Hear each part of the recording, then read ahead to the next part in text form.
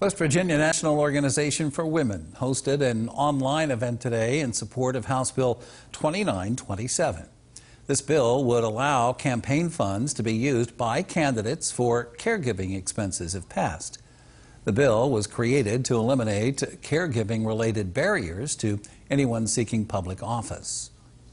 We care for those who are in our homes, those who we are responsible for, our parents, our children, and extended family members. And passage of House Bill 2927 would update state code to match federal standards. Caregiving expenses are permitted in at least 19 other states thus far.